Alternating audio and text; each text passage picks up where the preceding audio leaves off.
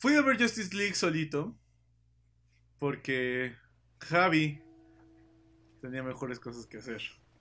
Morir. Estaba enfermo, estaba enfermito, por eso lo perdono. Bueno, para empezar me gustó la inclusión del videíto chiquito que hicieron los niños al principio. Sí, va a haber spoilers, lo siento un chingo.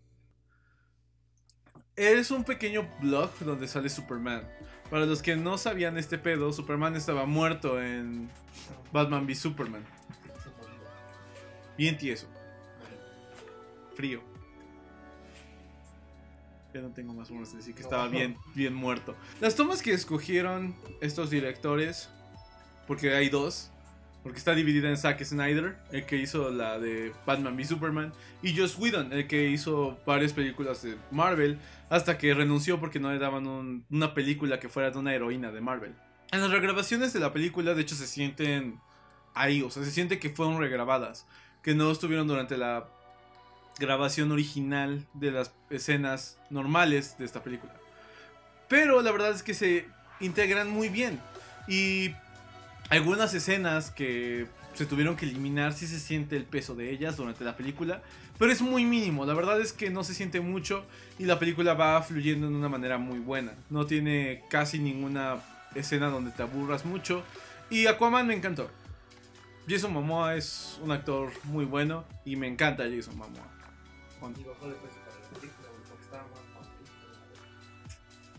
Batman se me hizo un personaje bastante bueno, muy Stark, muy a lo Stark, de hecho, Ah, pero me gustó mucho. No me gustó mucho que fuera cagado, porque Batman no era cagado. Batman es culero y siempre serio, pero aquí pusieron bien los chistes que le pusieron a Superman. A Batman. A Batman, lo siento un chico. Porque no son forzados y sí son cagados. Sorprendentemente son cagados todos y cada uno de los chistes que le ponen, que son como cuatro. Gal Gadot hubo unas escenas increíbles donde juegan su culito y se ve muy bonito. Y Flash era un elemento, era el comic relief. Y de, de hecho yo, sen- yo siento que le faltó mucho el peso de Flash y el peso de Aquaman. De hecho, le faltó fuerza a Aquaman. Mucha fuerza, no solo física, sino también en el arco argumental que tiene. Steppenwolf, como todos y cada uno de los enemigos de películas de superhéroes, digamos que su peso argumental a futuro no es mucho. De hecho, yo sé que no está muerto porque Steppenwolf no se lo iban a tragar los Parademons. Los Parademons iban a terminar muertos, pero yo creo que Steppenwolf ya no va, ya no va a volver a salir. Tiene que salir Darkseid en la siguiente. Y en la escena post créditos, la segunda escena post créditos, sale Lex Luthor y sale Deathstroke. Entonces, quédense. Hay dos escenas post créditos, hablando de eso. Dos escenas post créditos. Si no la han visto y planean verla, quédense hasta el final. Hasta el verdadero final. Hay dos escenas post créditos, ya lo dije y los voy a repetir hasta que se les quede. Y la primera es cagada, la segunda es importante. Las tomas, las tomas son muy. Las tomas son muy variadas. Ah, no tienen como una. Un régimen estético para esto.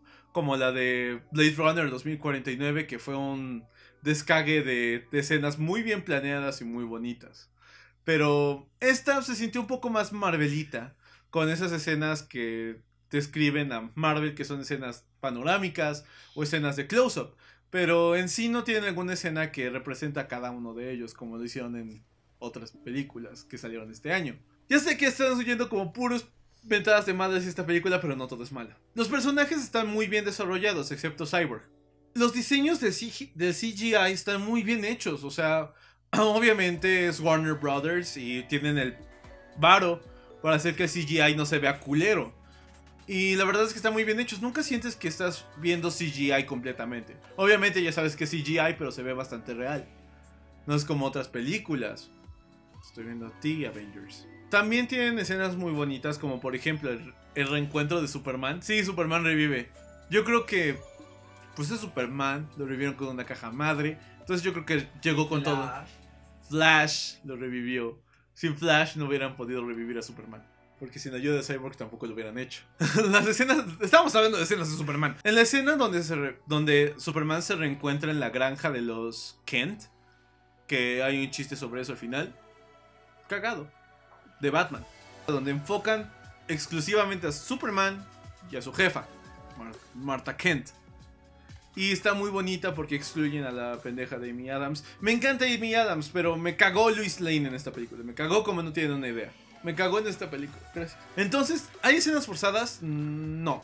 Nunca hay una escena forzada. De hecho, todas están muy bien planeadas, planearon muy bien las regrabaciones. Sufre la película un poco, pero de las escenas que no pusieron, no por las regrabaciones.